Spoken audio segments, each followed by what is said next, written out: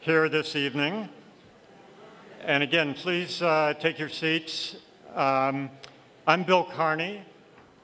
I am uh, president of Sustainable San Rafael. And with a friendly board member controlling the lights. Um, and with me is Belle Cole, who's the lead of organizing for Action Marin. Uh, we, we are uh, co-chairs of Time to Lead on Climate, which is a coalition of groups creating major events on climate change. And we do this at a time when the warming of the planet is speeding up and rapid action by everyone is critical.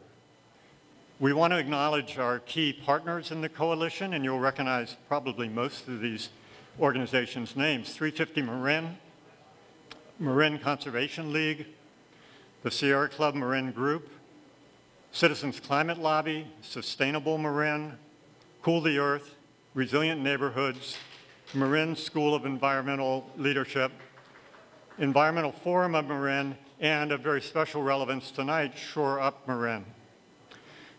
We also want to thank the 24 other supporting organizations that have joined us uh, to make this evening possible. All of our groups are listed in your program. Um, please talk with us this evening at the tables, uh, pick up information, and consider getting involved with one or more uh, of these groups to help bring climate action to the forefront in Marin and beyond. So our topic tonight is sea level rise, and our moderator, Marin Supervisor Kate Sears, has been at the forefront of that issue for a number of years.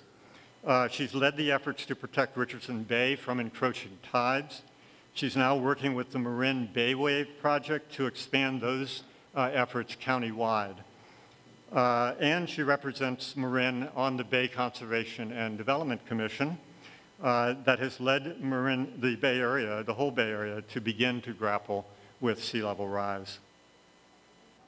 We are, of course, in the middle of an election season. And uh, on the ballot, uh, June 7th, is Measure AA, a proposal to begin funding efforts to deal with sea level rise in San Francisco Bay. We'll hear uh, some about that measure tonight, and you'll be able to ask our speakers about it. Time to Lead on Climate is not an endorsing organization uh, we banded together to create this event to provide information about the impact of sea level rise uh, on Marin and on the Bay Area, and importantly, what we can do about it. Measure AA could be a first step uh, in that direction. We're honored to be joined by many Marin elected officials and candidates, and uh, Belle will now introduce them.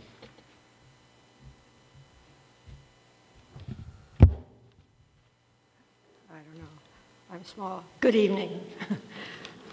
um, yes, we want to thank uh, all our officials and candidates for being here and for caring about climate change. And please stand when your name is read. So elected officials, Novato Mayor Pat Eklund. There she is, she's here, yay. Um, we have um, Tiburon Town Councilwoman um, Alice Fredericks. You here? Okay. Uh, Las Gallinas Valley Sanitary District Director Megan Clark. There she is. Ross Valley Sanitary District Director Pam Meigs. And uh, then we have uh, supervisory candidates. Uh, Susan Kirsch. There she is. Wendy Kalins. Uh, Frank Egger. Um, Kevin Haroff.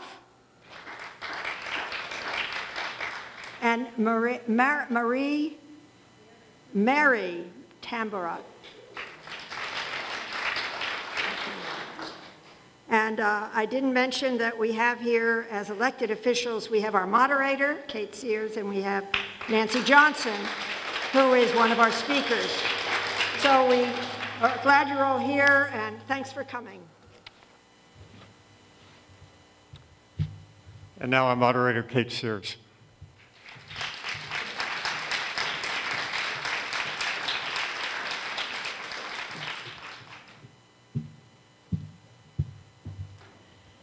Well, good evening, everyone. It's really wonderful to see so many people here tonight who are concerned about sea level rise, sea level rise and its impact here in Marin and in the Bay Area. And I'm curious, how many of you in the audience are from Marin County? Oh, we got a sweep. Is there, is there anyone here from outside of Marin County, elsewhere in the East Bay? Thank you. And I, and I am curious, how many of you wish that you'd carpooled so parking was easier? All right. So, um, as we all know, this past Friday was Earth Day, and the United Nations celebrated Earth Day by having 170 world leaders sign the climate agreement that was negotiated last December at the Climate Summit in Paris. We've been doing a number of great events related to climate change issues recently here in Marin, and I'm curious, another question for the audience, how many of you were among the 800 people that attended the Time to Lead on Climate Coalition's event last November at Dominican University to get ready for this historic UN summit. So, a lot of people in the audience, that's great. we heard at that time about what is being done to begin seriously to address climate change globally by the UN, by the United States, and by our own state of California that really has been a wonderful leader in getting nations and jurisdictions of all sizes to work together around the globe to address climate change. That summit uh, at, at, Dominican was tremendously informative and, infi- and, inspiring. And this fall, our great coalition of Marin groups uh, is planning to hear again from Congressman Huffman and other national leaders about how to make climate change a defining issue in this year's uh, uh presidential elections. But tonight, we're really going to bring the issue of climate change home to the Bay Area and to Marin County as we consider the huge challenge of climate change in the form of sea level rise and how we can best confront that challenge. To frame our discussion, we have four speakers tonight who will address sea level rise in San Francisco Bay from different perspectives, from the perspectives of science, economics, social equity, and the environment. We're going to hear from each speaker for 15 minutes each, and then we'll spend the rest of the evening in conversation with the panel of our speakers responding to your questions about sea level rise and about how to approach it. So please be thinking of what you want to ask. Our ushers will be in the aisles at the end of each of our speakers' presentations, so just raise your hand and each usher will give you a card to write your questions on. They'll collect the cards, we'll sort them and bundle them to make sure the panel gets to address as many of your questions as possible. To facilitate that, I would urge you to keep your questions short if you can, and in question format. So, so you know what's in store for what we're coming up, uh, what's ahead of us with our four speakers, I'm going to introduce each of the four speakers to you right now so you have information about them. Our first speaker is Dr. Stephen Crooks, who is a coastal scientist. He's been a delegate to the United Nations climate negotiations and for the Intergovernmental Panel on Climate Change. He's a lead author of an IPCC report on greenhouse gas accounting for wetlands. He is a geomorphologist with more than 20 years of experience in coastal wetlands and their response to human impacts and climate change. He works with Environmental Science Associates, or ESA. Our next speaker is Adrian Covert, who is Policy Director for the Bay Area Council, providing research and advocacy leadership for the Council's committees on water, commuter shuttles, and 21st century communications infrastructure. Prior to joining the Council, Adrian served on the research and communications team for Repair California, Californians for a State Constitutional Convention, and received a Bachelor of Arts degree in political science from San Francisco State University. Our third speaker is Nancy Johnson, who is chair of both the Marin City Community Services District and Marin Grassroots. Nancy attended Jackson State University and received a real estate designation issued by the National Association of Real Estate. Nancy worked in social services and in low income housing for over 20 years in Marin County. She currently serves on the board of the Marin City Health and Wellness Clinic and also on the Marin County Human Rights Commission. And our fourth speaker is David Lewis. For 18 years, David Lewis has, has led Save the Bay, the Bay's largest regional organization working to make the Bay cleaner and healthier for people and wildlife. David has led campaigns to win legal protections for the Bay, accelerate thousands of acres of wetland restoration, and prevent filling of the Bay. A Bay Area native, David previously worked in the U.S. Senate and on international nuclear arms control issues in Washington, D.C., and I can't think of a better background to be fighting climate change than nuclear arms negotiations. So now that you know what's ahead of you in terms of our four speakers, I really want to get the evening going tonight. We have a special video welcome from our climate champion in Washington, our Congressman Jared Huffman. He wanted to be here tonight but had a conflict, so he's going to be with us virtually. I hope.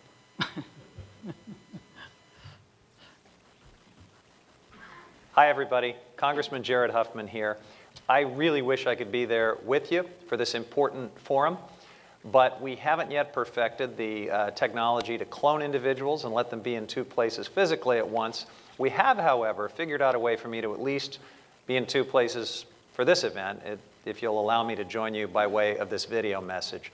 Um, thank you for taking the time to discuss such an important topic, saving our bay from climate change, and also for continuously shining a light on important issues facing San Francisco Bay. And I want to especially welcome this all-star cast that you've assembled for tonight's forum. Thanks for all that you do.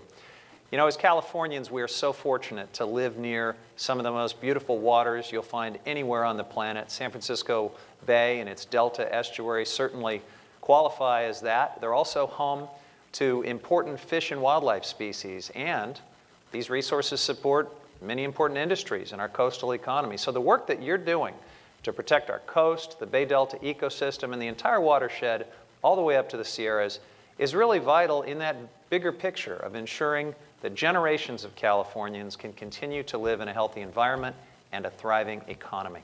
Now, as you all know, climate change is going to present all kinds of problems for us. It will bring extreme weather events, sea level rise, it will threaten waters and place our communities at risk in, in many different ways if we don't act quickly and boldly. Climate change, I believe, is the single biggest issue facing this generation and the next. It could forever change our environment, and our economy. And so I believe we have an economic and a moral imperative to act. There's just no doubt about it. We're in for a tough fight. It'll be tough politically and tough economically. I want you to know that you can count on me to work with dogged passion to get my colleagues in Congress to get off the sidelines and get into the role of leading on climate change with every tool that we can. I've tried to begin that process by introducing bills like the West Coast Ocean Protection Act and my Keep It in the Ground Act. I believe we're in this together, and I know that your advocacy makes a difference. So thank you for being champions. Thank you so much for all you do to protect our bay and our planet. I hope you have a great evening, and I look forward to seeing you soon.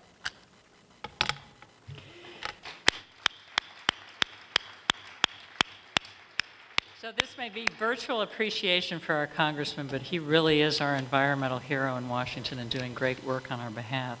So now I would like to welcome our first speaker, Dr. Stephen Crooks.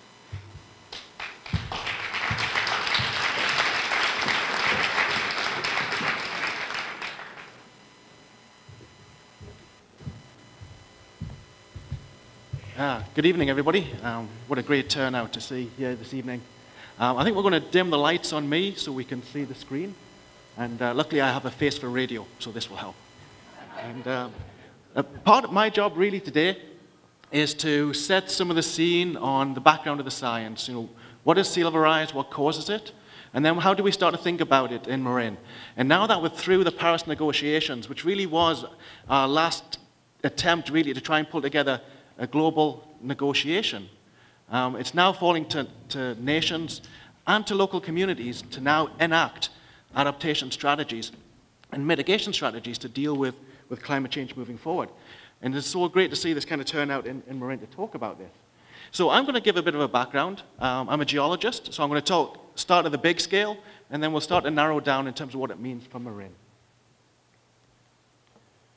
Well, how much does sea level change around the coast of California? This is a, a, an image I've stolen from the USGS, and it shows a nice graphic of just, here's the, the coastline of what we know now is the shores of Marin up here, and there's the bay. But 18,000 years ago, sea level was much lower. There's the Farallones. The sea went all the way to the edge of the continental shelf, was around about 140 feet below now, and has gradually moved up to around about 8,000 years ago, started to come into the bay, and then filled up the bay over the last 8,000 years. And as part of this time, wetlands started to, to, build up, the wetlands that we have today, the wetlands that we changed into coastal lowlands, which many of us now live in. Now, how much does sea level change? Well, this is a sea level change curve for the last uh, four million years. This is four million years over here. We like to think in long times. This is the present day over here. Now, each of these ups and downs represents a change in sea level. From here to here is about 100, 120 meters, 100, about 400 feet. And that's how much sea level changes through time. The, the, the curves are derived, this is a long-term trend derived from ocean sediments. Uh, phytoplankton in the ocean uh, absorb um, um, gases from the atmosphere, and that keeps a track of what's, what's going on in the atmosphere, which we can relate to the extent of glaciers. And then that settles down and it falls into seabeds. So we actually have a long-term trend record which we can calibrate against what we see on land. So we have pretty good confidence that this actually represents what has happened in the past. Now, there are a few things you might notice in this trend. One, this is sea level now. Sea level has been higher in the past, in the recent past. That's 125,000 years ago, that's 400,000 years ago. But way back when, sea level was just generally higher than it is now all of the time. What's happened is that as the glaciers extended uh, in Iceland and Antarctica and Greenland, progressively sea level dropped. What also coincides with this, and I'll come back to this, is that CO2 in the atmosphere also dropped as well. And we see an increased sensitivity to how glaciers respond. And I'll, I'll come back to this. But the takeaway message is sea level is always changing. We're right now, what generally would be near the top of, uh, of sea level, but there's actually potential if more ice melts, to go back up again to what we used to have a long time ago. Why does this happen? Well, the natural causes relate to how the, the Earth wobbles around, either wobbles in terms of its oscillation around the, planet, around the sun, or how it oscillates and wobbles just on its own axis. And this is driven by gravitational interactions with the sun, with the moon, but also other big planets like Jupiter that every now and again pull the Earth in a bit of an ellipse. And that affects the amount of uh, heat that is directed, particularly along the poles, which is where, uh, where the uh, glaciers are. And so you get these predictable cycles of different time periods, around about 100 to 400,000 years for these ellipses here, to 41,000 years, to, to around about 20,000 years. And these constructively interfere to give a pattern of heat uh, impacting on the Earth, which then influence the glaciers, the big glacier in Antarctica, and the smaller glacier in uh, Greenland, which holds enough water to cause around about five meters of sea level rise on its own, it affects the, the, the size of ice sheets. And then on the smaller scale, every now and again, you get a volcano erupt or other factors like that, which cause a cooling effect. And so there are these long-term trends going on, and also natural trends like volcanoes, which can have the opposite effect. So these drive our big climate changes. And then we came along. And one of the things we did is we, we took CO2 that was trapped within rocks in the form of oil, and we started putting it back into the atmosphere again. So the other parameter that's important is, as well as the amount of sun that is getting onto the polar areas, and the amount of heat in that regard, is the, the heat trapping capabilities of the atmosphere. And though uh, gases like CO2 represent a very small part of the atmosphere, they have a very strong warming effect. So as we increase the amount of CO2, but also methane, nitrous oxide, and other gases, then we start to increase the warming globally all the way around the planet, which also leads to melting of ice and expansion of seawater. So in this particular curve, what we see here, this is a graph from the latest IPCC report. Um, this is the amount of, of, of, warming which has been seen since 1951 to through to 2010. And then they've looked at different causes, estimates from greenhouse gases, other anthropogenic forcing factors. Uh, we put more dust into the atmosphere, which causes a cooling effect. Um, combined together, it pretty much represents the, the amount of warming that we're seeing. And here's the natural forcing factors associated with the, the wobble of the planet. Um, and volcanoes, not a big effect over that time period. The warming that we have seen is driven by the anthropogenic factors, the release of CO2 and other greenhouse gases into the atmosphere. So while there's this long-term trend that's taking place, we're having a warming effect on top of that. Now, thinking about this from the very long term, what can we, how can we try and pull these different pieces of information together? Well, this is a graphic which tells us here we are um, in the current day, and we compare what was past warm climates like, and how were those environments, and what does that inform us about what our possible future might be? This graph here represents the, the elevations represent sea level. Here's the elevation on this side compared to today. And then we have measures of CO2 in the atmosphere, which is collected directly or from ice cores in the case of historic events. And we also have estimates of what the temperature was back then at these different time intervals from pollen analysis and other measures that you can find within sediments. So in the present day, here, oh yes, sorry, is this, am I wandering around too much? There we go. So in the present day, this is where we are right here. And what we've done is we've, um, well actually I'll start with this one. This is the sea level 125,000 years ago during the last big interglacial. CO2 was around about the same CO2 level as we have right now. But sea, uh, but sea level elevations were higher than we have now by around about six to nine meters. So there's still quite a lot of potential um, rise in sea level we could have for the same temperature and the same amount of CO2 as we have right now.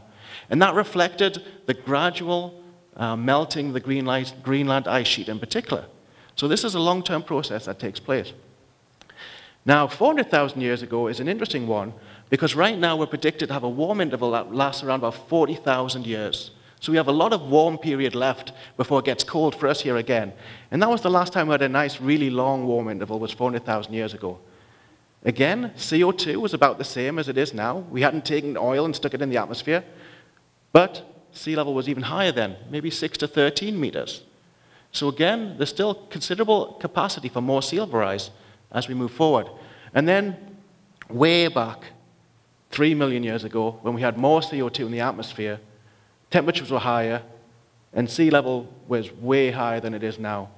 You know, well over 6 meters, maybe 30 meters than it, above what it is presently. So there is considerable potential for a lot more sea level rise. So the challenge for us is, can we, uh, how fast is sea level going to rise? Can we manage our CO2 so that we don't trip a rapid change in the environment that we can't deal with. So, this is why the countries came together at the Paris negotiations. Now, there are a number of different things that, that were very important coming out of this meeting. One, 195 countries agreed to act on climate change. It was left very flexible. It's down to the national capabilities to come up with a strategy. Um, but as on last week, 175 countries have signed up with their strategies for how to move forward. The goal is at a hold temperature below 2 degrees C. Now, that's seen as kind of a critical threshold. It's not clear whether that will be enough, but it's seen as being potentially achievable. But really, the goal, the ambitious target of 1.5 degrees C was set. Now, if you've been following any of this, you know that each country put forward their contribution to how they're going to try and reduce greenhouse gases. We're still at 3 degrees C based upon that alone. So we still have to reduce greenhouse gases a lot more than we've actually committed to. No matter what we do, sea level will continue to rise to some extent. The question is how fast and how far will it go? Uh, various elements of the negotiations that were put forward relate to how we're going to finance and help with the development of um, developing countries and help them deal with climate change, and also help them reduce their own greenhouse gas emissions, which then benefits us also. Another part of it also is that, you know, while transport and energy and um, industry are the big emitters, we really need to think about how we do uh, manage our landscapes as well, and how we use those to reduce greenhouse gases. And each country put forward their commitment. Now, coming to Marin, you know, this is near my, my house. This is Manzanita Car Park. There's Highway 1 under there. Here we are. This is Seminary Drive going onto the freeway. You know, already we have flooding issues. It's only nuisance level flooding right now. But we're going to have to learn to deal with more and more flooding in our coastal areas. One of the things we're also trying to do now is that uh, California is actually taking a very strong lead on trying to reduce greenhouse gas emissions. As part of that, we want to work in cities and we want to work with transport to try and reduce those emissions and reduce our greenhouse gas footprint. Now, we're going to have to think very carefully about how we do that, because one of our challenges, the easier places to do it, might be the same locations where you're going to have flood risk in the future. So we want to not get ourselves into trouble by building more infrastructure where we might want to move infrastructure out when we get sea level rise. So that's a, a planning challenge we have yet to, to really address.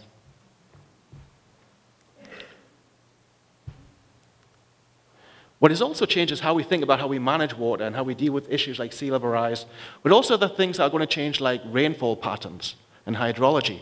The old way of thinking about managing hydrology, um, you know, the Corps of Engineers would come in, they'd dig a nice big trapezoidal channel, and they would try and move water through the landscape as fast as possible. If it's raining, get it out to sea. But, you know, those processes had trouble. The channels would fill in with sediment, then you get more flooding issues. So the, now that the way that we think about managing water is to try and absorb it within the landscape. We try and spread it out, move back levees so that water is spread out so you don't get so much in the way of flooding, create space at the bottom so that the water can get out so it reduces flooding upstream. At the same time, you can help with water infiltration into aquifers. You can sequester carbon. You can bring back natural systems and ecology within the landscape. At the same time as we do this, we're going to have to think about also how, with sea level rise, we gradually phase back and retreat to some degree, move infrastructure out. We have to take this kind of landscape approach, but if you integrate nature with physical hard infrastructure, these kind of things can be very um, simpatico. An example of that, this is a study that um, Environmental Science Associates were involved with the Bay Institute, who we've worked with a, an awful long time. Looking at the cost, for instance, of if you around, live around the bay and you have a levee, how does that compare against the cost of having a wetland in front of that levee? Does it reduce the cost at all? Well, it does. And now what, what happens is that when you have deeper water, you have more wave activity, you have surges affecting against the levee, you need a much larger structure to resist flooding and erosion. But if you put a wetland in front of it, it helps to damp down the waves and it can absorb that, so you need a much smaller structure. Here's the cost differential here. So around about this is in millions of dollars per mile. You know, for just this kind of levee, it might be something of the order of $12 million per mile. But bringing in a wetland, it can drop it down to six. So wetlands are an important part of an adaptation strategy that help reduce costs as well as bring back environmental improvements. We've incorporated some of this thinking. This is the Hamilton Wetlands Restoration Project. Some of you may, may live next to it. I've been involved in this um, for over 10 years. Um, that, sorry, the Hamilton Wetlands Restoration Project. Here, this is what the site's going to look like. This is what it, it looks like. It looked like until recently an uh, airbase with a runway. And we've started, you know, we've actually now reconnected it, used 7 million cubic yards of dredge material to rebuild wetlands, but included wide uh, natural living levees along the edges as well to provide a measure of flood protection and bring back environmental conditions at the same time. These kind of things are very important in how we think about moving forward. In the same sort of setting in the Napa River, the living river concept was developed here in, in Napa, eventually adopted by the Corps of Engineers naturally, nationally, which provides an opportunity to open up the floodplain, recover ecology, increase carbon sequestration, and improve flood management. These kind of approaches can be developed and uh, adopted all around the bay. So what are the takeaway messages? Um, sea level rise will continue to take place. Uh, we've yet to see how fast and how far. Reducing our greenhouse gas emissions is necessary to limit the extent of sea level rise. That's the most important thing we can be doing. But we shouldn't just focus on that, we should also focus on how we manage the landscapes. Greening urban and natural and working lands contributes to reducing greenhouse gases, and it has an environmental benefit as well.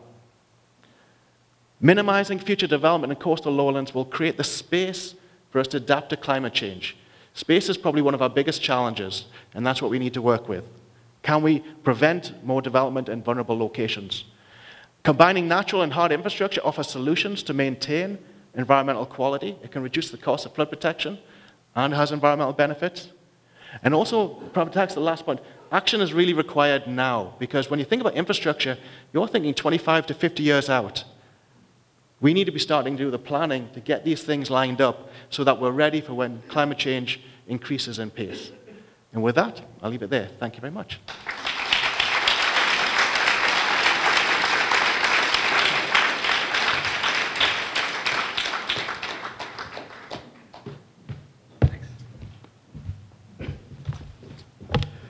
Good evening. Can we uh, dim the lights here? Thank you. My name is Adrian Covert. I'm the Policy Director for the Bay Area Council. Uh, thank you, Bill, for having me, and thank you for uh, Sustainable San Rafael for having this great event. It's very timely. As was mentioned earlier, there's a couple really important things on the ballot in just a couple weeks that's really going to have an opportunity for all of us to actually play a direct impact on solving some of the problems that you're going to hear about uh, in the next few moments and that we just heard about from Stephen. First thing I want to mention is a couple key points that you're going to get from my presentation. One is that the Bay Area is one of the most robust coastal economies in the world. Two is that we're currently at risk for about $10 billion in damage from an extreme storm event, even without sea level rise. This is the status quo right now. But third, with a little bit of investment, the Bay Area could position itself as the most climate resilient coastal region in the world. And so that's kind of what I want to talk to you about today. But first, I want to talk a little bit about the Bay Area Council, which I represent. The Bay Area Council is a business backed nonprofit public policy advocacy organization. Uh, founded in 1945, it's a multi sector group um, meaning it represents tech companies and finance and uh, the major trade sectors of the economy, the ports of Oakland and San Francisco, the sports teams, uh, basically the largest employers in the Bay Area, uh, Bank of America, Safeway, the major employers. And we focus on a couple key, uh, couple key public policy areas, housing, transportation, water, workforce development, and 21st century energy and communications infrastructure. And I can tell you on each one of these policy areas, climate change plays a major role in how we tackle it. Most obviously on water policy in the drought. We just did a poll that's going to be released um, in the next uh, couple days that found that Bay Area resident attitudes on the severity and the importance of the drought has plummeted over the past couple months because of a couple storms. For the record, El Nino is not that powerful, and our water infrastructure is far from being recovered from our historic five year drought, which, at some estimates, is the worst that California has experienced in 1,200 years. So, water infrastructure is still something very top of mind. Um, but next, let's talk about extreme weather events. And can anyone recall what happened, what was happening October 2012? Sandy, very good, very smart crowd. Hurricane Sandy was happening. And Hurricane Sandy happened only a couple years after Hurricane Katrina. And then, of course, the major hurricane in the Philippines. And so, what we're seeing is uh, when that ha was happening in October 2012, the Bay Area Council Executive Committee, the main governing board of the Bay Area Council, was having their board meeting at the board offices of Kaiser Permanente in Oakland. Beautiful facility, great view of the bay. And we're watching on TV the disaster and the crisis, the humanitarian crisis that resulted in over 100 people dying in New York and New Jersey, billions of dollars of economic damage. And someone mentioned that out our window, there's an awful lot of water in that bay. And an awful lot of stuff developed right along it. What would happen? And what is the vulnerability of the Bay Area to an extreme storm event? So we ask the question How vulnerable are we to an extreme storm? So, next, uh, we did some looking. First, let's take a look at California's average annual precipitation and take note that average annual precipitation is a statistical construct in California. The line represents the average, but very few years actually hit average. This year was actually one year that came reasonably close to hitting the average precipitation. Normally it's far above or it's far below. One good thing, though, that's lucky about California is that we don't have hurricanes. That's the good news. The bad news is we have atmospheric rivers. Atmospheric rivers this is a satellite imagery photo where you can see west coast west coasts throughout the world are vulnerable to this type of storm event where you have ribbons of moisture stretching from the equator moving towards the poles in either direction until they run into a landmass. In this instance, right here, California, you can't see it too well, but that's an atmospheric river hitting California. And we haven't, and, and, you know, we rely on these systems to provide most of our precipitation, so in general, they're good things. However, they can be enormous. And we've had recent examples uh, in the recent past of extreme storm events in the Bay Area that didn't get much news. So, well, you can't really see that very well at all, can you? Well, I'll tell you what it is. This is a map of the Bay Area, and with San Francisco about here, and then that's the South Bay, and then the North Bay, we're right up here. And each one of these red dots represents a storm that came in through the Bay Area, and at that location developed a precipitation level of a 1,000 year return period, meaning that you're not going to see precipitation like that in average in over a thousand years. So, an extreme storm event. Luckily, these have been isolated in lowly populated areas as part of a larger storm system, and not much damage was caused. However, we have experiences in our recent past, recent in you know, recorded California history past, of something much, much larger hitting the Bay Area. And so, does anyone recall the, the, the biggest storm event in the history of modern California? You guys are brilliant. 1862. 1862. It happened in Sacramento. It was the Great Flood of 1862. It began in December. It ended in January. It's 40 days. Biblical. One of those ribbons that I showed you, the atmospheric river, it hit California with the volumetric equivalent of 16 Mississippi rivers. That's how much precipitation was in this thing. And when it hit California, it destroyed Sacramento and it turned the Central Valley into an inland sea 300 miles long and 30 miles wide. We get storms like these about every 150 years. And how long has it been? It's been a while. So, we asked ourselves, what would happen today if something like this happened in the Bay Area? And it's important to consider this because the Bay, this California depends on the Bay Area economy. The California, California depends on the Bay Area economy to the tune of with the fact that we have only 17% of the state's population, and yet we produce 35% of the state's income tax. Great deal for the rest of the state. So how much are we at risk? This map is a, risk, is a map of the Bay Area 100-year floodplain. So if we got a one, uh, the once in a hun- the, the century storm, these are the areas that could be expected to flood. Some of these areas have flood protection in place. So you're not going to see all of that flood, but a lot of them don't, and a lot of it is put together unevenly. So the next question is how much and what is inside that floodplain.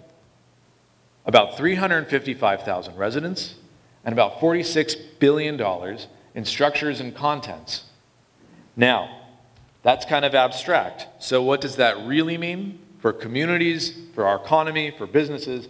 That means 35 schools, 15 healthcare facilities, six fire departments, five police departments, 800 miles of roads and highways, 68 miles of rail, 46 wastewater treatment plants, combined for an 800 million gallons of sewage processing daily, three electric power plants. That's the infrastructure that's in harm's way. And trade, just to give you another idea of what kind of economic activity occurs on the Bay, about annually $4 billion in trade, producing 44,000 jobs, occur between the ports of San Francisco, Oakland, Richmond, and Redwood City. Our fishing industry accounts for about 40 to 50 million dollars a year, and tourism just in San Francisco alone, which has a lot to do with the bay, produces 70,000 jobs. So I've mentioned these figures. I think these figures are important for people who say, look, I don't live near the bay. I live on a home. I, was, I live on a hill. I'm responsible. I don't live anywhere near the bay. Well, I got bad news. If you like to commute to work, flush your toilet, and turn your lights on, you depend on what's happening on the bay because all the infrastructure that makes our economy tick is located there. So, next, the Bay Area Council Economic Institute, the think tank within the Bay Area Council, did a, a report called Surviving the Storm that analyzed what would happen if a major storm event hit the Bay Area economy. We partnered up with some of the best minds in the region from AECOM, the Brattle Group, Gensler, the Moore Foundation, the Coastal Conservancy, and the flood protection agencies.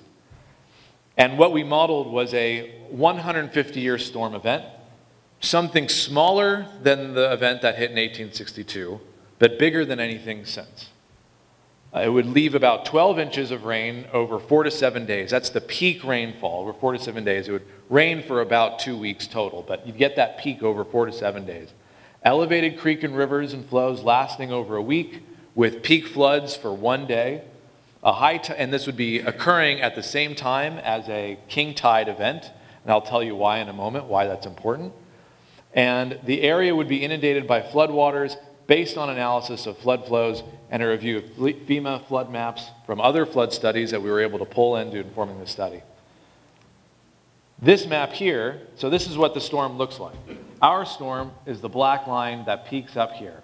And what this graph shows is right here at zero, that is peak flood, peak runoff from the storm. At about right here, and then these are the number of days of the storm before peak and the number of days of the storm after peak. So what you see modeled against, these are all, these other lines that you see here are historic storms data that we already have. And so we compared our storm to other storms, and it's, it's extreme, but it's within the realm of the reasonable. You can see the storm would build up slowly over the course of about five days, and it would peak here to amongst the strongest storms we've seen on record, last for a full day of peak runoff, and then it would drop down still with significant runoff for a total of about 10 days, and it peters off after that for about an almost two week period. So, next, it's important to realize that as this rain comes down, this rain will fill the bay, and the bay will start to rise like a bathtub. And that's important because what happened with Hurricane Sandy was that was a perfect storm event that occurred at the same time they had their peak high tides. Totally reasonable for us to assume that a storm event like this would occur during our peak high tides, our king tides, because our king tides occurred during the storm season, in December and in January. So this is what it would look like added on to a king tide event. This dot right here is represents a storm at a high tide with one inches of rainfall. So you're looking at a high, maximum high tide of about six feet. So you get a king tide with an inch of rainfall, you get about 6.2, 6.3 feet of elevation in the bay.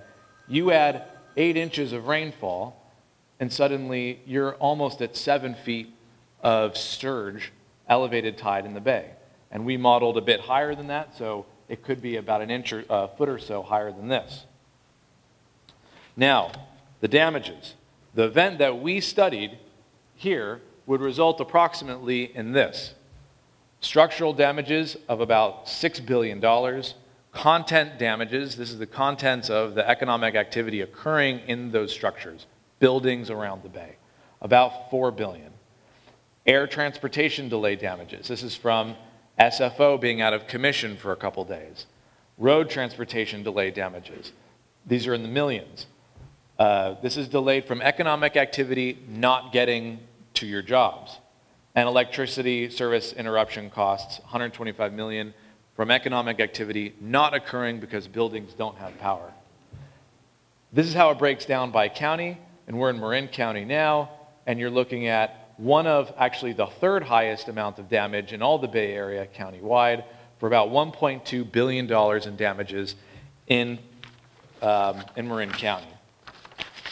This is a really conservative estimate, I want to stress, because this does not include the cost of repairing highways or the airports. When the flood comes in, it will probably cause structural damage. That will cost millions, if not billions of damages. That's not included. This also doesn't include potential loss of life. Does not also include the potentially catastrophic events, uh, effects of a levee failure in the Sacramento Delta. What's important about this is that about half of the water in the South Bay is imported from the Sacramento Delta.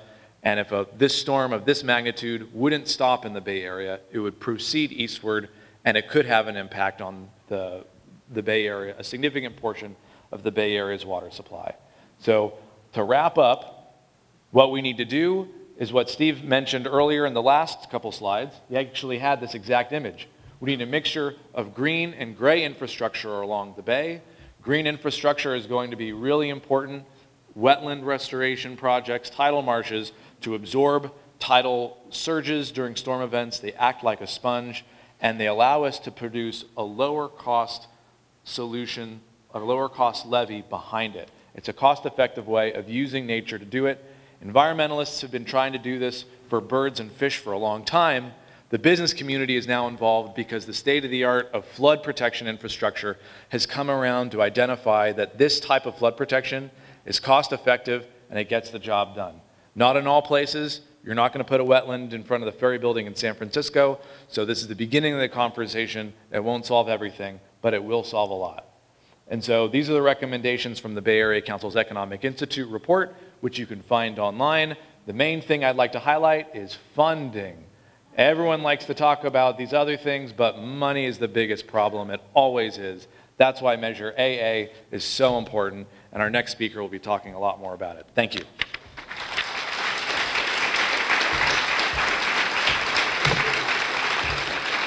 So, good evening. I don't have a PowerPoint, so you're just going to have to look at me.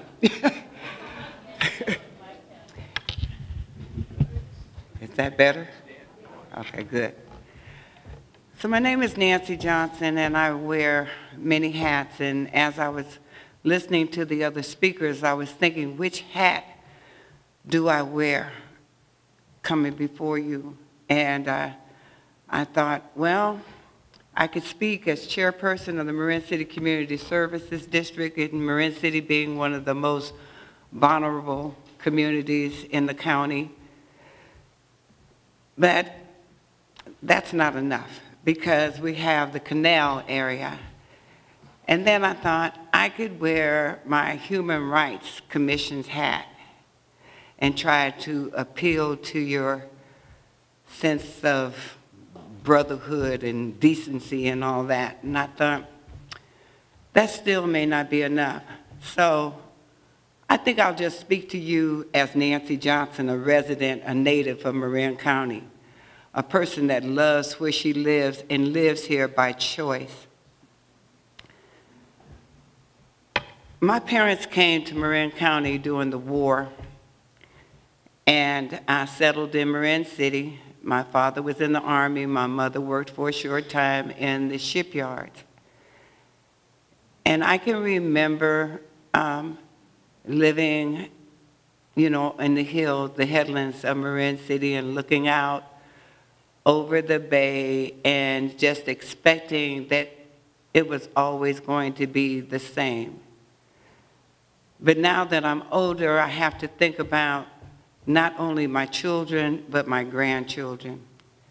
And I have grandchildren that, well, I have at least one grandson that, that lives here in the county. And of course, like any other parent or grandparent, I'm concerned with his future. And I know that if we don't act now, he may not have a future here in Marin County, and that is heartbreaking for me. I love it here because we are a community. We come into rooms like this and, and we know lots of people in this room. And our children go to schools together. They share places of entertainment. My grandson loves to go to San Rafael and play miniature golf out at McInnis Park. When I think of what could happen in the event of sea level rise to Marin City and and the Canal District. Again, it's heartbreaking. And I think it's, it's not just, it's not just the vulnerable residents of Marin City and the Canal area. It's, it's anyone that lives in Marin County.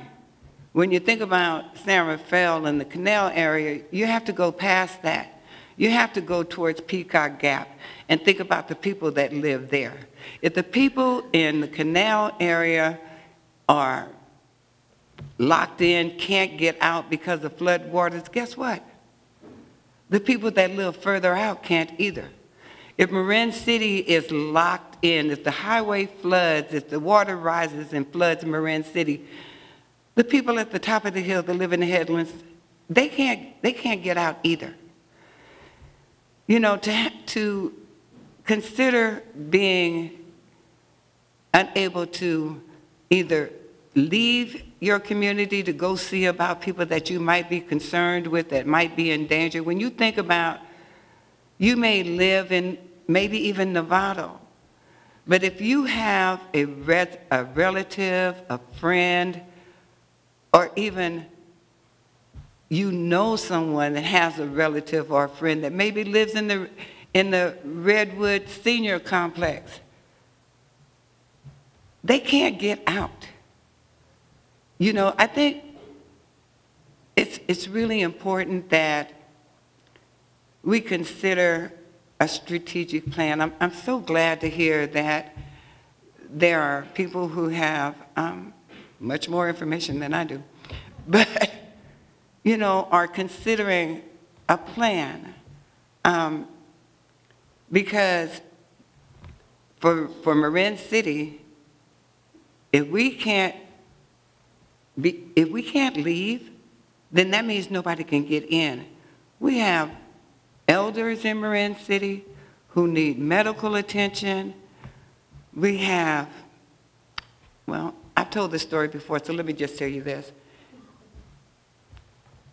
Uh, this one of the speakers before me spoke about um, the years that there were floods, but didn't mention the storm of 2007. In 2007, in December, well, I guess it was 2006, December, we had a storm. The water rose. We didn't call it sea level rise, we called it flooding. The lights went out. Uh, people didn't have transportation, and my daughter was nine months pregnant. In fact, she was overdue. When the sky turned dark, and I could see that, you know, we were going to be in trouble in the case that she may go into labor. Women's intuition told me, get out and get out now. So I left. I had to leave here, and I thought, I have to get to higher ground. And at first I thought, well, I'll go to Embassy Suites or maybe the Sheraton. Thankfully, a friend of mine offered me shelter in their home, but I'm going to tell you, my daughter went into labor that very night. If I had remained in Marin City, the grandson that I spoke to you about may not be here because I would have had to deliver him. Uh, you know, so thank God, you know, for women's intuition. But I just want to say, it, you know, um, I thought about what are we going to do? And I think the first thing that we have to do is we have to think about the man in the mirror. Some of you may know what I'm talking about. Michael Jackson made um, a recording called "The Man in the Mirror," and it was it talked about when you want to be when you want to see change and you want to make change. The first thing you need to do is you need to look in the mirror, and you need to make a decision about what it is that you are going to do to be a part of the change.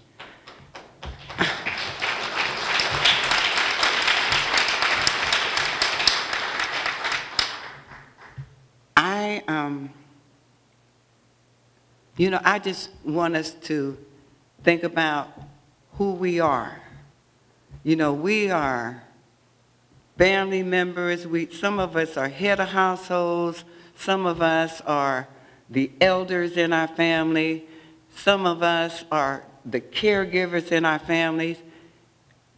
But it's not just our immediate families, it's the person that lives next door. My neighbor next door is 93, 94 years old.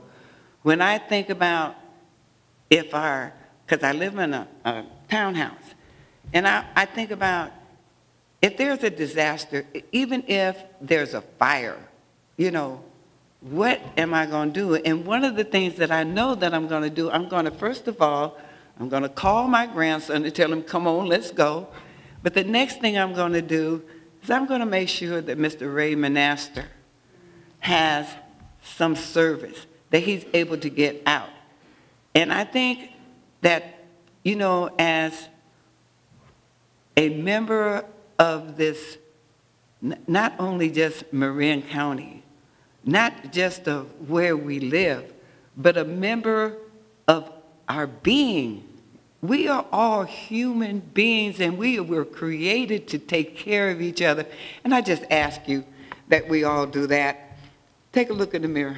Start, start with yourself. Thank you.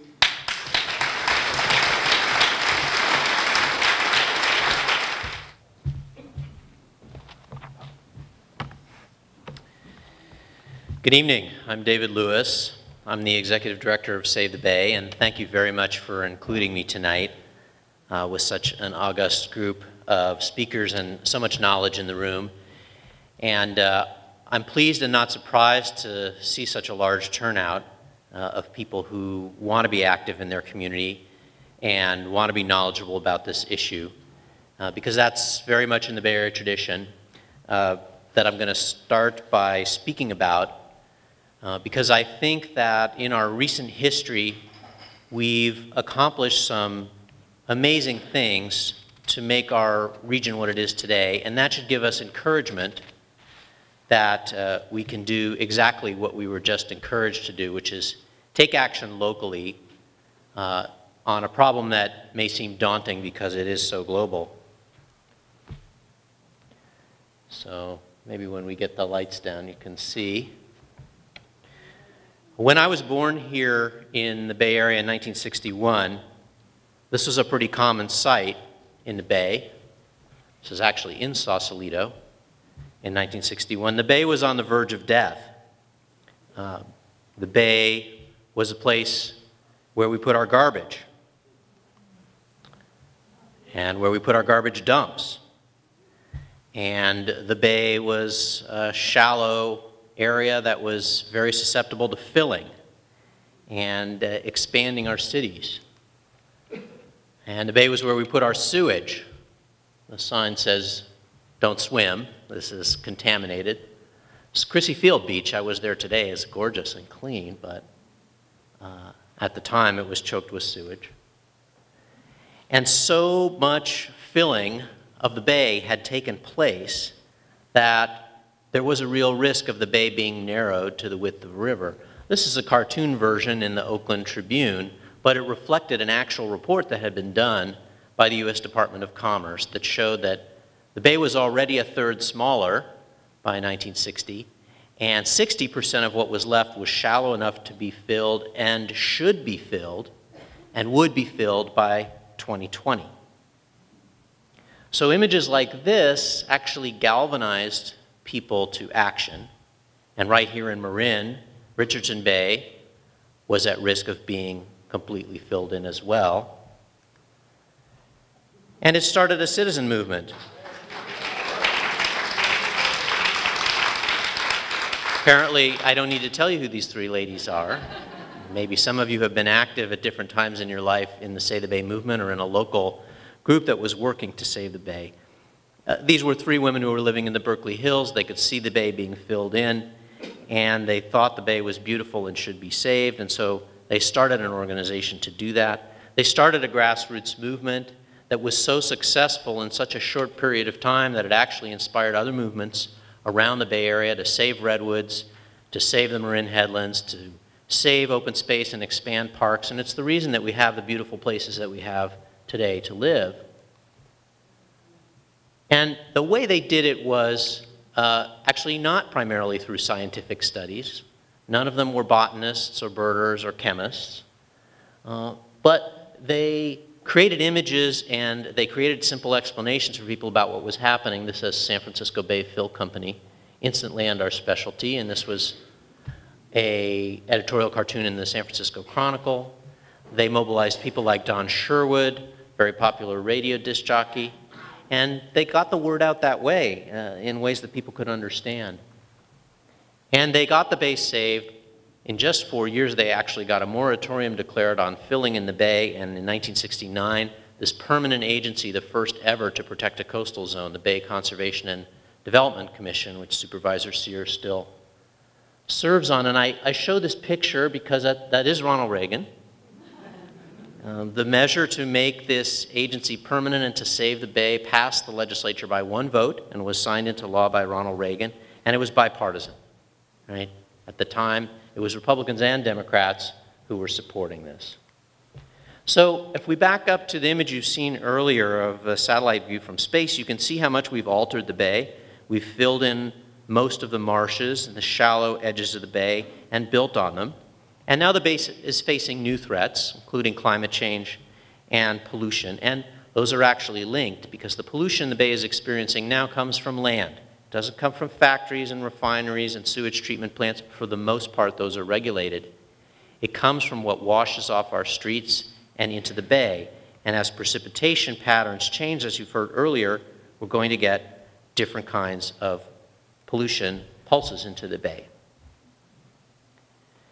Well, we have a really unusual opportunity to act locally and do something this June uh, on the June 7th ballot that can actually start to contribute to some of the solutions that you've already heard about. We've actually known for about 20 years uh, that the bay needs more tidal marshes, and we have places where those marshes can be restored. And we also know that the bay is very popular, and we love it as people who live here, and we want it to be cleaner and healthier. And so the missing ingredient is actually money. And the urgency to do this faster than we were planning to, to restore the bay faster, is actually coming from the threat of climate change. So on the June 7th ballot uh, will be Measure AA. And this is a measure that's on the ballot in all nine counties. It's a tiny tax of $12 per parcel in all nine counties, all taxable parcels. And by contributing these small amounts, over 20 years it will raise half a billion dollars for Bay Marsh restoration projects that are located throughout the region. And an agency that's been set up only for this purpose, that has no other powers and no other bureaucracy and no other staff, just to propose a tax measure to the people and to spend the money in grants for tidal marsh restoration projects uh, that have multiple benefits around the bay. So here is an image showing that, uh, oops, in around 1800, we had, before major European settlement here, we had about 200,000 acres of tidal marsh. And because of all this activity to fill in dike areas, we were down to about 40,000 acres by 1998. But we have places around the bay that have not been paved over that can be restored to tidal marsh and get us back to 100,000 acres that the scientists tell us are necessary for the bay to be healthy. And here's a bar graph that shows that we have about 44,000 acres of tidal marsh today. And look at this light green bar. This property is already bought and acquired for the purpose of being restored. These are salt ponds in the South Bay and hayfields in the North Bay along Highway 37 and other areas around the bay, we can get to nearly double the tidal marsh and a lot closer to this 100,000 acres if we just have the money to restore this property that's already been bought for that purpose. Tidal marshes provide so many benefits. You've heard about many of them already. Uh, and this is uh, just laying that all out on one slide, but let me show you some of the Endangered species that only live in San Francisco Bay tidal marsh. This is the Ridgway's rail on the left and the salt marsh harvest mouse on the right. But the part you can't see is the biological diversity in these tidal marshes really forms the base of the food chain that everything else that lives in the bay depends upon.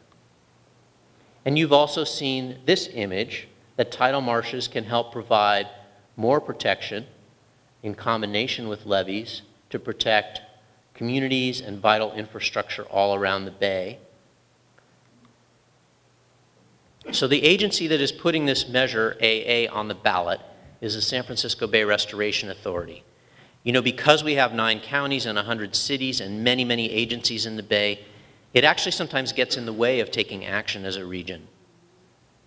So this is a regional special district, and it has no power or purpose other than to propose what it's now doing with Measure AA, to propose to voters new public funding mechanisms that are for tidal marsh restoration. Uh, it's governed by a board of seven elected officials from the Round Bay area, and it has an advisory board of 50 very diverse community interests representing it. If this measure passes, and it needs to pass by a two-thirds margin because of our tax laws in this state, two-thirds of the combined votes, not two-thirds in each county, the money will be used for grants to support tidal marsh restoration projects, and those projects, depending on the particular project, provide some or all of these benefits to fish and wildlife, water quality, shoreline protection, and beautiful places for us to access and enjoy. The projects, the potential projects, are all around the Bay Area. Some of the largest are in and near Marin County. Next to Hamilton Field, which you showed a picture of earlier, is the Belmarin Keys project. It's a thousand acres that's already acquired to be restored to tidal marsh, but we don't have the money to do the restoration. And then several large projects up along Highway 37, uh, including Skaggs Island. But you can see there are potential projects all around the bay. An amazing broad coalition has come together to support this measure. Uh, and one of the reasons that this hasn't happened sooner is because it's taken many years to do the education of constituencies around the Bay Area. And uh, as Adrian mentioned, for the business community to appreciate the additional benefits of tidal marsh restoration beyond the immediate benefits for fish and wildlife. But you could see we have support from unions, from local governments, from business and environment, and many, many local groups. And I've just listed a few of the many endorsers of this uh, measure, highlighted a few from here in Marin County where there's very uh, strong support. And just today, uh, Governor Brown announced that he will support Measure AA as well and endorse that.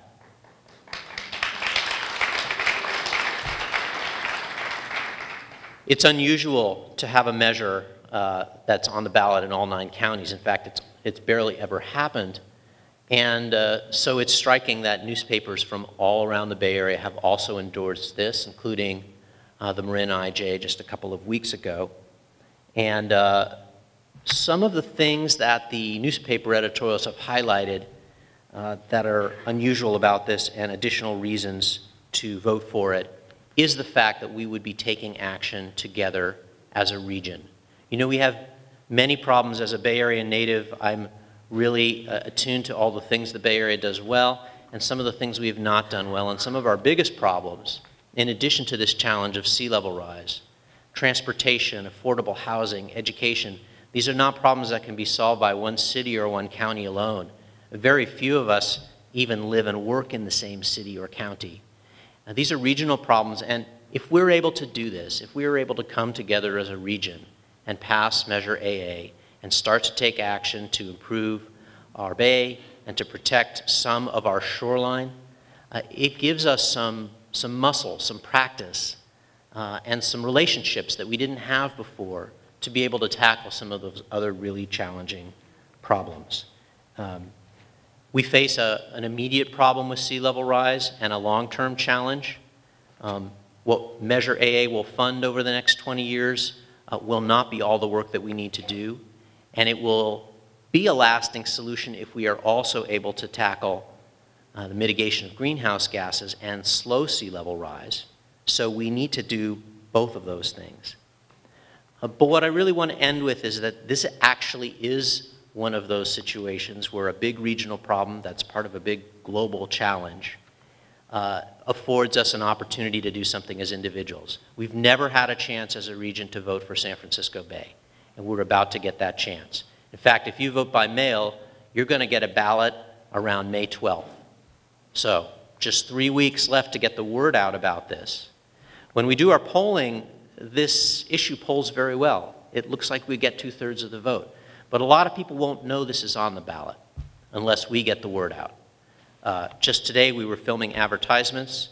We've uh, raised quite a bit of money to get the message out, but we can do even more as individuals. All of us have networks of people, neighbors, email lists, etc.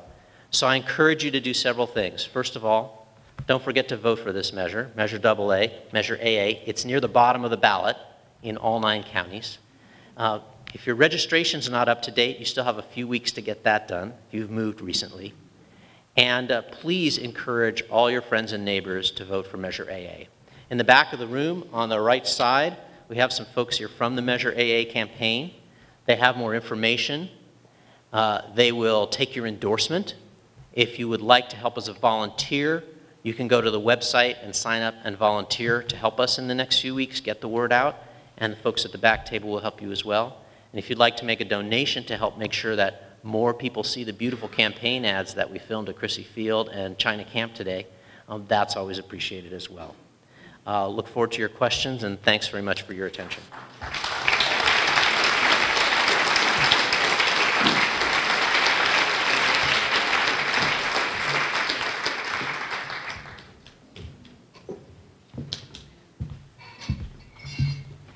So I really want to thank all of our speakers for their incredibly diverse viewpoints.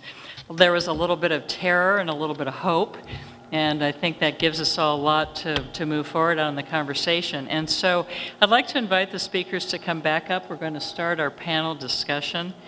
And while they're coming up, um, I'd like to mention that the Marin Coalition is hosting another discussion of Measure AA on May 4. You can visit their website for information about that program. Sustainable Marin will present a Sustainability Counts Candidates Forum for all 13 candidates for supervisor on May 12th here at the San Rafael Community Center. And so we're now going to spend really the rest of our evening expanding on the discussion and on our conversation by having our panel respond to your questions. I have a handful of questions already. Um, but please raise your hand if you, there is a question that you would like to ask, and our ushers will come along and give you a card or collect your card.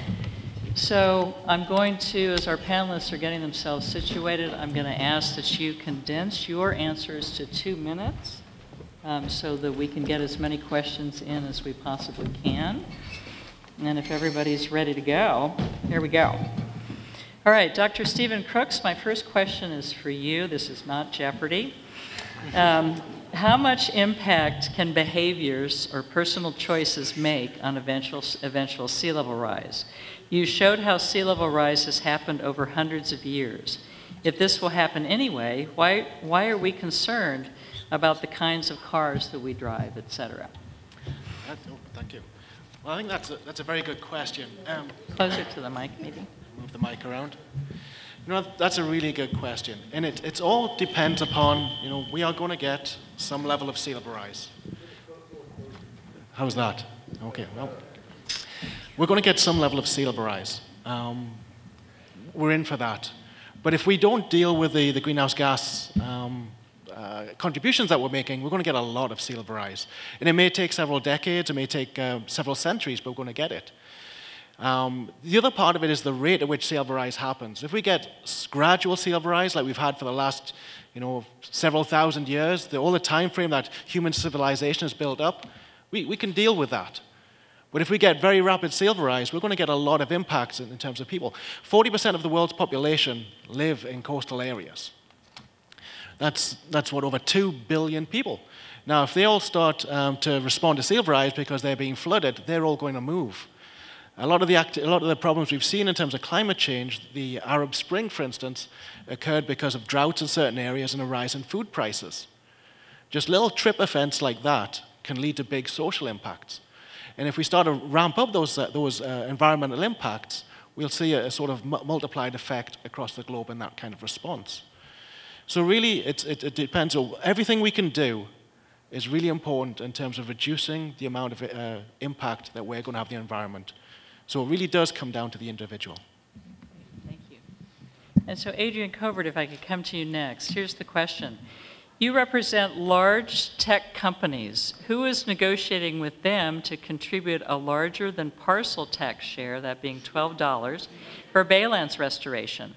This contribution would significantly benefit the passage of Measure AA. Please talk with them. Thank you. That's sort of in the form of a question.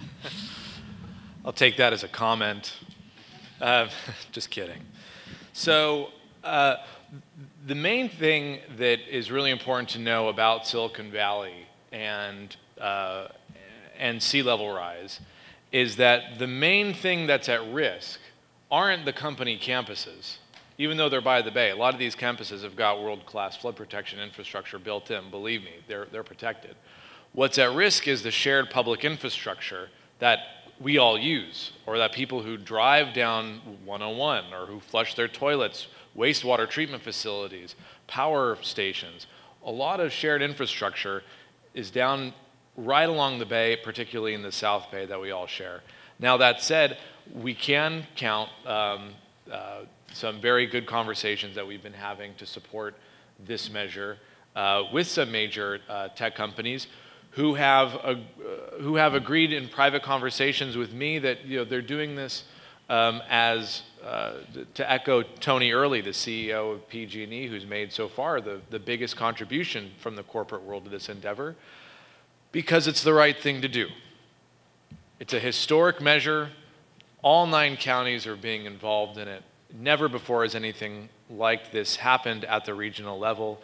And the fact that we're doing it to support the defining geographic feature of our region, the namesake of our region, the Bay Area, after all, is what we call it, uh, is really compelling to a lot of people uh, in a way that goes far beyond the dollars and cents um, or you know, mere corporate social responsibility. This is something that touches people a lot. And, and, uh, and we're going to be there, I think, with major support, and we already yeah, have some major support from Silicon Valley. Very much. And David Lewis, let me come to you next. How much money will Marin be allocated, and how will that be determined? And relatedly, what Marin sites besides Belmarin Keys are on the priority list? So uh, first of all, the measure, uh, the text of the measure that'll be in your ballot will explain that um, half of the money that is raised will be uh, divided among uh, the four quadrants of the bay, and over the life of the expenditures over 20 years uh, will be spent in, half of it will be spent in proportionally that way, and then the rest of it will be spent all around the bay and there'll be projects in every county. Um, one of the things that's unusual about this measure as compared to maybe if you voted on a local bond measure for construction projects, um, and, and in that measure you might have the specific projects that are going to be funded already laid out. And in this case, if the tax passes, we're creating a grant source. Uh, the Bay Restoration Authority doesn't own these projects, it doesn't own the land, and it actually doesn't control when these projects are going to be ready and, and eligible for grant funding. Um, each project will still need to meet all of the legal obligations, get all of its permits from BCDC and other agencies in order to be eligible. And in fact, most of the projects that have been done, like Hamilton Field, have had to cobble together money from multiple state and federal grant sources. And so now we'll have a local one. So uh, um, in addition to Belmarin Keys, uh, there are numerous smaller projects uh, on the Marin County shoreline, and I mentioned that one because it's one of the largest and provide the most additional tidal marsh. Um, one last thing that I'll mention about this, the motivation of this tax is not primarily to increase property values. It's not primarily to increase property values. In some cases, where the tidal marsh is being created, and that's the main purpose of this measure, it will have a beneficial effect on infrastructure protection, and in some cases, some communities will get additional protection too. And that might protect some property values that otherwise would go down because of the increased flood risk. And so the polling that we've done, and one of the reasons the measure is constructed this way is because this is what people told us in polls they would prefer to have. It's, it's not constructed so that dollar for dollar things go back to the county that they came from because people see the bay as a regional asset and they understand that im- improving tidal marsh in one part of the bay will improve the health of the overall bay. So that's the motivation people feel. That's the way the tax is constructed. Uh, and I will say that Marin County, in this case, is likely to get far more money back in tax dollars spent because you have these large re- wetland restoration opportunities here than money that you as taxpayers in Marin will pay. Great, thank you. And Nancy Johnson, I have a question for you. You said Marin City is already experiencing flooding. What is the most important thing that needs to be done for Marin City residents? Thank you. I think one of the, well, the at the top of my list is disaster preparedness.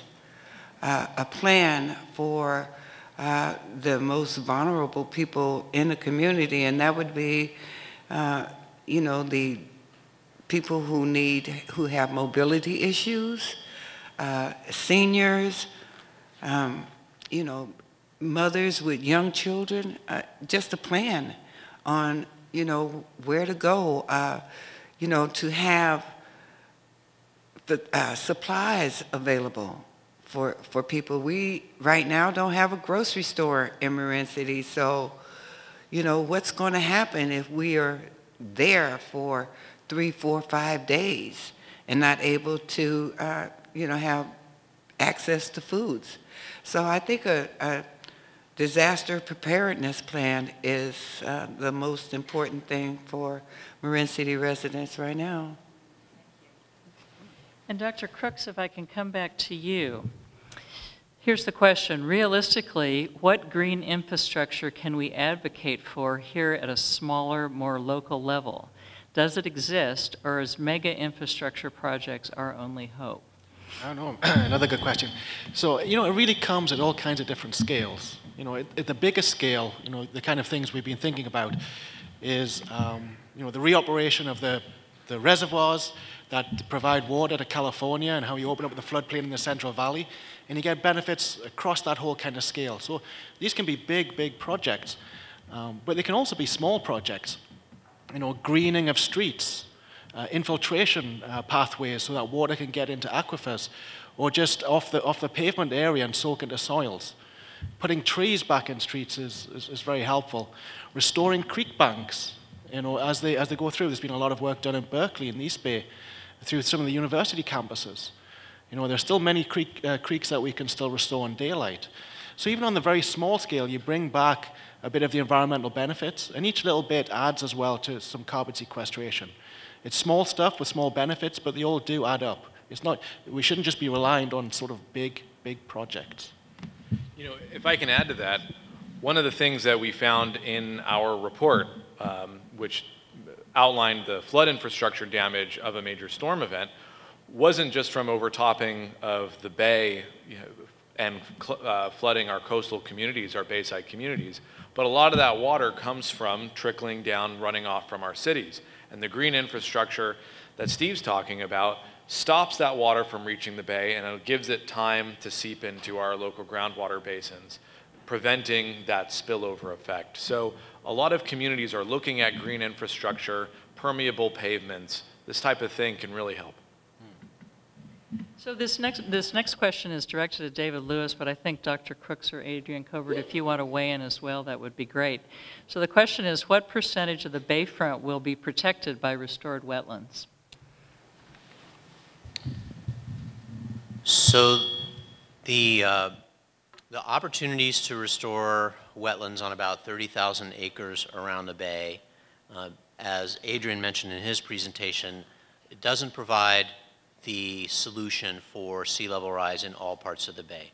Uh, the deeper areas and areas where we've built up right to the shoreline where there's not a wetland restoration opportunity, uh, th- this is not the solution for those areas. We'll need to look at, at other solutions. But I will say, uh, if you imagine back to the satellite image of the bay, um, most of the shoreline of San Francisco Bay south of the San Mateo Bridge and most of the shoreline of San Francisco Bay between Vallejo and San Rafael, which is a huge percentage of the shoreline, the, just those two areas alone. Um, the opportunity for wetland restoration and maintenance of existing wetlands and flood protection for infrastructure as a result of that, um, a lot of it is concentrated there. And there are other opportunities in the Central Bay between those two big expanses, but a lot of it is in the far north and far south. Great, so I have another, a number of questions about Measure AA, and so I'm going to stick with these, this topic for a moment. Will funds from Measure AA be used for purchase of land, be used only for restoration of wetlands, flood protection on public lands? They will not be used, not be used for purchase of land. We have a lot of areas already purchased, waiting for restoration. Um, and that's what this money will be for, for tidal marsh restoration. Um, that will provide other benefits where it's used. Um, and, and both public or private, privately owned land could be eligible for these funds if it's for a tidal marsh restoration project. Good example, one of the recent tidal marsh restoration projects completed in the far northern end of the bay near Sears Point Raceway. Uh, that property is owned by the Sonoma Land Trust, a conservancy. Uh, there are properties here in Marin that are owned by the Marin Audubon Society that could be eligible for these funds, in addition to state and federal public lands that are reserved for this purpose. Adrian, did you? If I can add to that, the San Francisco, the San Francisco Bay Restoration Authority uh, actually put together a very thoughtful expenditure plan. You can read it online, and they outlined four buckets of programs that the money will be going to. And it's very clear, wetland restoration, flood protection, pollution, uh, public access, and pollution runoff prevention. And so that's where it's going. Let me ask you one more, one more Measure AA question for the moment, and then we're going to come back to that after a different topic. Here's the question, how will Measure AA specifically address protecting current development from sea level rise? So Measure, Measure AA will be spent on grants for tidal marsh restoration projects. And in some cases, those tidal marsh restoration projects can't be done without building levees at the back end to prevent flooding of adjacent areas. Some of those adjacent areas uh, would be communities of homes. A good example would be in East Palo Alto or in Alviso. There are homes right next to these wetland restoration opportunities. Um, so those are examples of, of where it would provide some benefit. But there are plenty of areas around the bay where flood protection solutions are not available through wetland restoration. So recently in Foster City, uh, which is entirely at or below sea level, behind levees, those levees are not high enough for future sea level rise. So the residents of Foster City just voted to assess themselves uh, on their property taxes to pay for raising those levees. That cost is not being passed on to the rest of the Bay Area, and it's unfortunately not an opportunity for wetland restoration, uh, but it is an important flood protection measure they're taking. Great, thank you. I'm now going to come up to a higher level question for you, Dr. Crooks. What happens to the Bay Area if both the polar ice caps melt 100%? Run! Ah. Well, we, we'll have a lot more area to sail around, that's for sure. You- you're- you're- Yeah, well, the, the area for sailing is going to be a lot, uh, a lot uh, deeper. Um, you know, that would be, a, well, it would take a long time to get to that stage. We are talking centuries, um, thousands of years most likely. Um, it would, everything would be different. Uh, the Sacramento Delta and the water supply there to Southern California, that would be completely saline, all those levees would fail. Um, our wetlands would move upslope. Um, the areas where people are living would now be subtidal, um, deeply subtidal. uh, we'd have wetlands higher up, we'd have trees, we'd all be concentrated in a lot deeper area, in a, a lot more of a fringe around the coastline. And, uh, but the whole world would be very different when we have that kind of sea level rise. It'd be quite an upheaval. So Dr. Crooks, I want to stick with you for a moment. So this card says uh, your bar graphs show different sea level rises for the same CO2 content in the atmosphere. How confident is the science on sea level rise as a function of atmospheric CO2 content? Well, you know, it, it's always been looked at in terms of the analysis and refining our understanding. Um, it is a very confident science now. You know, we, we've been looking at this for many decades. Um, the original theory about greenhouse gas uh, and how it affected um, climate change was first developed in 1850 by a guy, guy called Tyndall. And um, it was actually a laboratory experiment, and it's been looked at many times since then. Um, the, you know, what, what it, uh, when we look in the past, it gives us a clue of what's going on in the future. Um, but it's not a perfect analogy because the world was different then. Um, part of what we're seeing when the different elevations of water, the different sea levels back in the time, reflects the time it takes to get that amount of ice to melt. You know, 125,000 years ago, it was warm for a long period of time, a lot longer than it has been so far to date. And 40,000 years ago, uh, 400,000 years ago, it was warm for 40,000 years. All, ra- all, only we've had up to date is 10,000 years worth of warming. So for the same, uh, same amount of CO2, there was that gradual melting of ice which has taken place. We're actually due for about 50, 40 to 50,000 years of warming uh, right now. So we've got a very long warm period to come. So we will see that gradual ticking up of, of, of sea level. And we want it to happen slowly rather than quickly. But if we do melt a lot of ice because of the additional impacts of CO2 emissions, um, then we could see more ice melting than we did see over the last million years. And let me give you, I'm sorry, Adrian, Yeah. If I can add ahead. on one thing to that, uh, is that it, it was really important for us when we did the Bay Area Council, when we did the report on surviving the storm, to get out of the debate of whether or not sea level rise was true or not, which every reputable scientist in the world agrees that this is happening and that there's a, a human uh, component to this. Our study looks at the flood vulnerabilities right now, as it is today, without any sea level rise associated with it. What sea level rise will do is that with every inch of rise, we increase the impacts of the same storm that we modeled that much greater. Santa Clara Valley Water District actually said when we were doing interviews for our report that one of their largest wastewater treatment facilities would probably remain dry and functioning in the report that in the storm that we modeled, but not in 2030. By 2030, our same storm would have flooded that just from another inch and a half or so of sea level rise. So it, it's we're at currently at a, a significant vulnerability, and that's going to go up with every inch. Thank you very much. And one more question for Dr. Crooks that Adrian, you may want to weigh in as well. Is there any way to reasonably estimate the difference in sea level rise that would result with A, continued greenhouse gas pollution globally versus B, making material improvements globally in reducing greenhouse gas pollution? Um, I didn't quite I think it's pollution versus no pollution. And I can read it again for you, Yeah, though. please. Is there any way to reasonably estimate the difference in sea level rise that would result with A, continued greenhouse gas pollution globally, versus B, making material improvements globally in reducing greenhouse gas pollution? Yes, you know, these are, these are the basis of the various scenarios that come out of the IPCC reports. And they look at different amounts of economic development and what that's likely to mean in terms of um, the amount of greenhouse gases are emitted and then how much sea level rise will we get, and they look at other parameters. And then they also factor in how are people going to respond to this and you know, what kind of impact does it have on countries in terms of economic output, et cetera. And so the, the scenarios range from very high levels of sea level, over a meter um, within 100 years, um, to much lower numbers. Uh, and so these are the bases of the various scenarios, and it's the basis that we all make our planning decisions upon.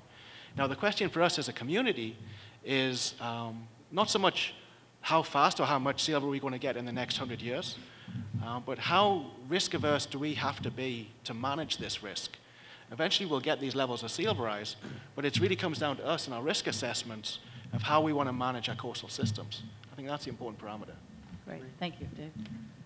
Just add something that I think was implied in what Steve said, but just to make it more explicit, the more action we take sooner, the more progress we make towards being on the right path.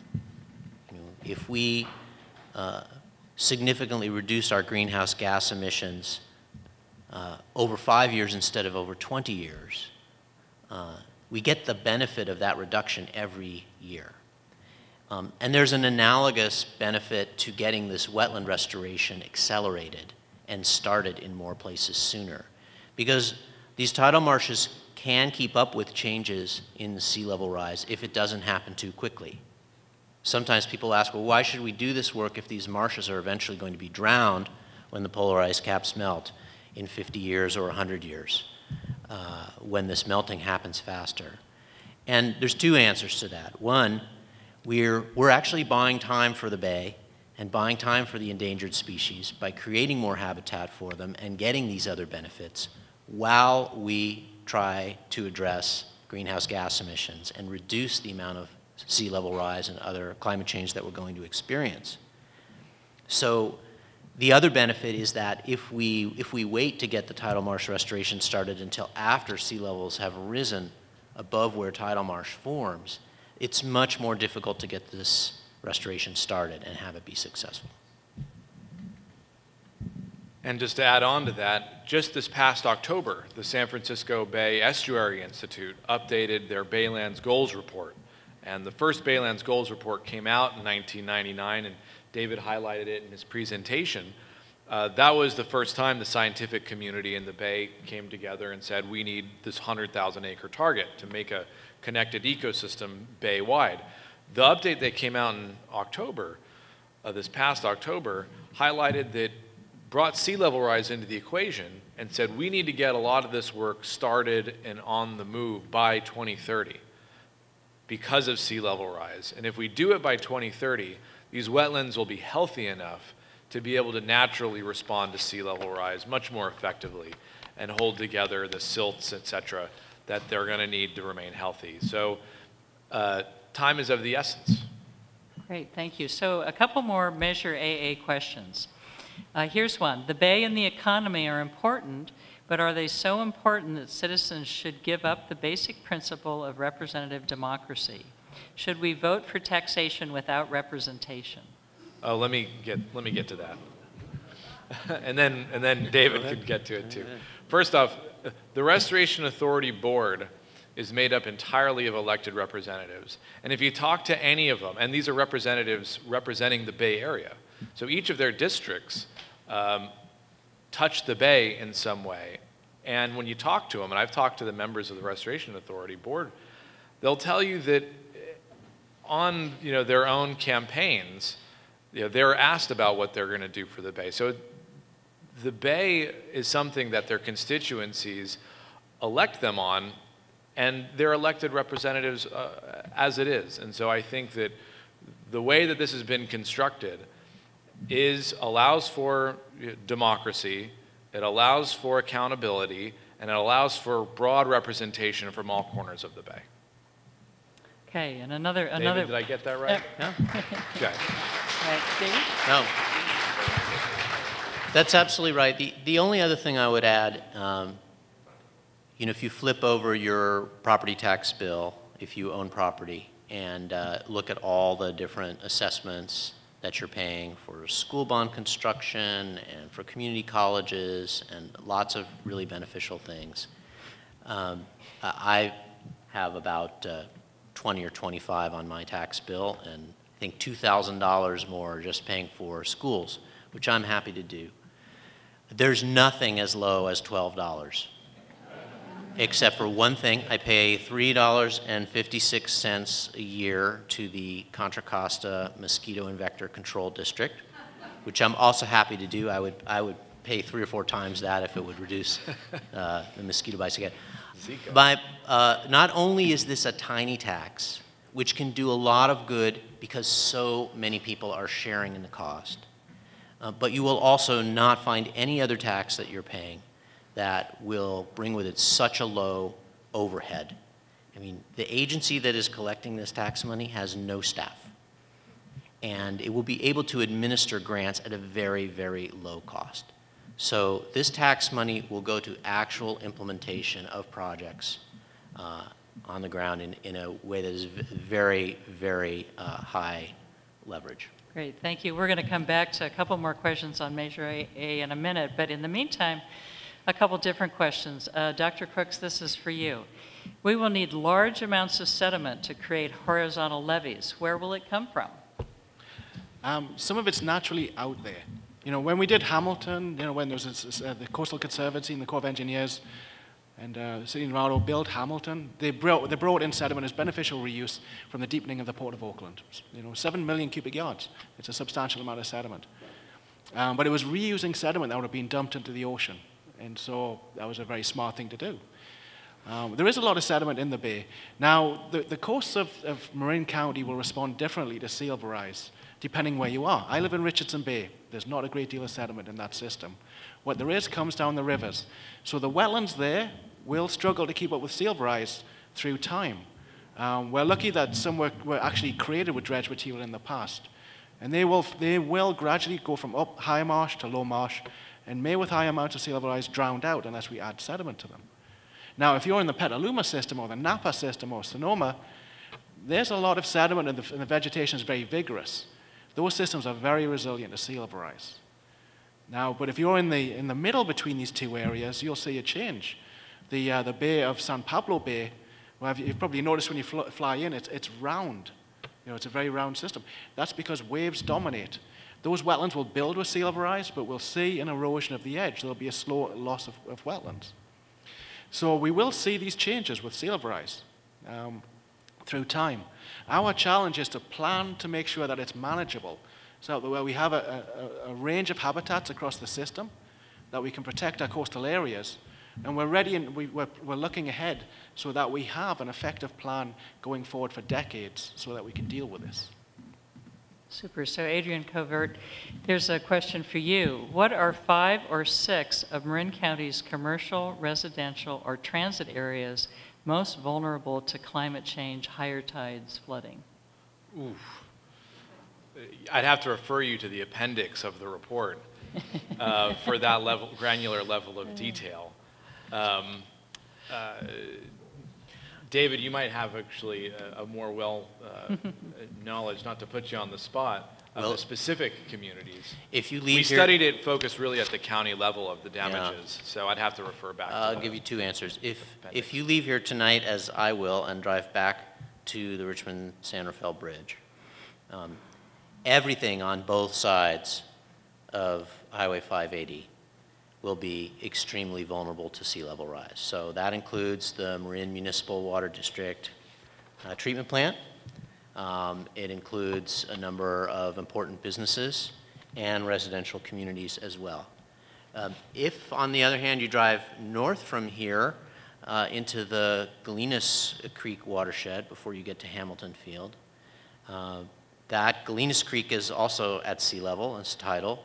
And so everything on both sides of that creek, um, McInnis Park, uh, the airport, uh, Autodesk, I believe, still has a facility there. These are all areas, uh, this is the way Marin has developed, right? Marin has filled in the areas between the ridges along the bay and uh, put important development there. So these are, these are the areas that are most vulnerable, both private uh, homes and property and also shared public infrastructure. And the last thing I'll mention, when I used to come to Marin as a kid from the peninsula uh, to visit relatives, and my favorite thing was to drive past the houseboats in Sausalito and the giant helicopter, the SFO helicopter that uh, used to take off from there. Well, that road, as you know, is just a few feet above sea level, and there were some pictures earlier of uh, areas, not just Lucky Drive, but um, also closer to Marin City that flood on a frequent basis. So this is all public infrastructure that many of us who don't live in Marin County uh, use, as well as those of you who do live here. And if I could just add on to that answer for those of you who are interested in that particular question. Marin County, through our C-SMART program that looked at the impact of sea level rise on the coast of Marin County, did a fantastic sea level rise vulnerability assessment that's available online at marinslr.org. We also currently are in the midst of our countywide Bay, Richardson Bay and Bay, San Francisco Bayside uh, joint county and city and town sea level rise vulnerability assessment. We're hoping that a draft of that study will become available probably June, July. But I encourage everyone to go to marinslr.org. There's a lot of information on there about areas that are vulnerable to sea level rise and the work that our flood control folks and others of us at the county have been doing to answer that and, and address those issues. And we're continuing to work on it, so stay tuned. Okay, back to a couple of questions on Measure AA. Um, what percentage of land eligible for wetland restoration is in Marin? I do not know the answer to that question.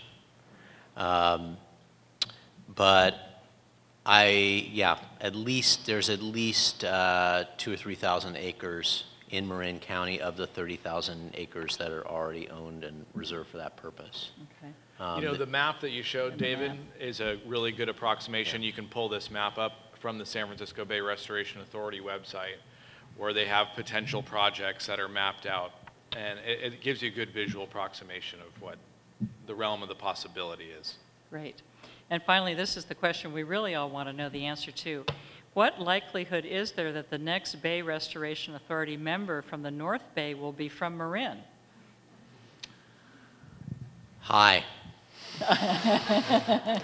Uh, So tho- those uh, Restoration Authority board seats are are four-year terms. Um, There's uh, one seat that is definitely reserved for the North, a representative from the North Bay counties. It's uh, currently Keith Caldwell from Napa, uh, but he's nearing the end of his time as a supervisor. So um, interested elected officials should apply uh, beginning of next year if they want to serve.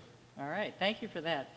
So I want to, I want to thank our panel, and you've provided us with a great deal of really infor- interesting information in, in your presentations and responding to questions, but I'm going to diverge from my instructions here for a minute and, and offer each of you the opportunity to make any closing remarks that you want, you might want to make um, this evening, if anyone has anything to add.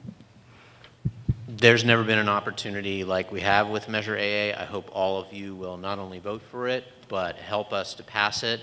Uh, If you want to learn more about how you can do that, there's uh, information at the table in the back on this, on this side, and, and thank you all for helping us.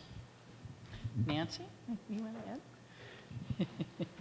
I just, um, first of all, I just really want to thank the organizers of this event for inviting me to sit here with these people. They are- They're fantastic.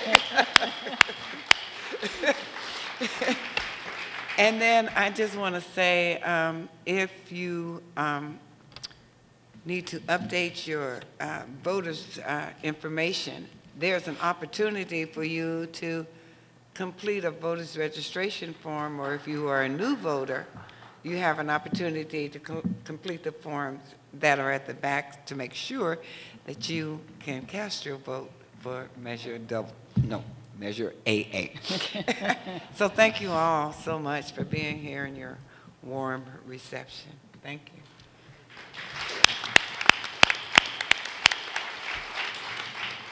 I think I'd leave you with this. There are very few opportunities that we're ever going to have to tackle flood protection, environmental improvement, improving our lifestyle and by public access to the inter, to, uh, to our uh, environment, uh, and do so at a regional level in a way that's never been done before. So I can't think of any other example of any kind of initiative that would provide so many benefits. And I know that the presentation that I did, at least, had a lot of statistics and big numbers. But to bring it back to some of the things that Nancy was saying, this could impact our lives in a really real, tangible way, including protecting schools, our hospitals, the places that we use to take care of our friends and loved ones, and even things that may seem not important but really are, like Nancy, you actually mentioned supermarkets. And supermarkets are the, the Safeways are one of the most uh, vulnerable chains of businesses in the 100 year floodplain. And these are places that not only provide you know, working class, middle class jobs, but also food, you know, for people to actually eat in distribution centers in natural disasters. So again, I leave you with that this is a great win-win-win for flooding, for the environment, for protecting our communities, and improving our overall quality of life. And it's at a really, really low cost. So remember that it's going to AA for the Bay, down the ballot, stick it through on election day. After you vote for everyone, it's down there. Thank you. You know, we, we can tackle the challenges with climate change. I think countries are going to step forward. It's coming down to the community level. And, um, you know, we can do this. And I think measures like AA are going to be very important because we have to do them now. We have to also begin our planning now for how to adapt to climate change so that we're set for not just decades but centuries to come. Now, measures like AA really help set that scene and they start restoring wetlands and they start bringing back those environmental benefits. And so I think this is a great opportunity to really step up now while we can, and it'll really set us in a good stead for the future moving forward. Great, thank you so much.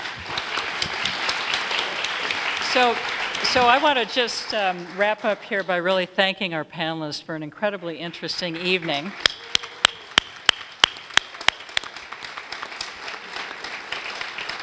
And, and I also want to thank uh, A Time to Lead on Climate Coalition and all of our volunteers. I understand that we have 20 volunteers from high schools throughout Marin who helped put on this program. And I think, uh, you know, as we all know, there's really nothing more important than engaging our young people in getting involved in tackling the challenge of climate change. So, so I think we've heard a lot of things that inspire us all to get even more involved than we may be today. And I hope that everyone will go to the website leadonclimate.org and think about what are the group, which groups listed on that website are you most interested in and you would like to join with them and help make a difference. Um, I really want to also thank everyone in this audience for being here. It takes all of us being engaged, working together, sharing ideas to address sea level rise, but also all of the other climate change impacts that we have not yet talked about this evening wildfire, drought, extreme weather events of various sorts. And these are all topics that I hope that this and other organizations in Marin County will move the conversation forward too. So we really are looking at climate change and the impacts and what we need to do to reduce our use of fossil fuels, to reduce our threats from all these different, uh, uh, different kinds of outcomes that are our future. Um, particularly if both of those polar ice sheets melt and we need to get our boats out. But but I know this, everyone here is very engaged. I encourage you to stay engaged uh, and keep the good thoughts coming and help us keep moving forward on mitigation and adaptation. And I see a hand up in the front row.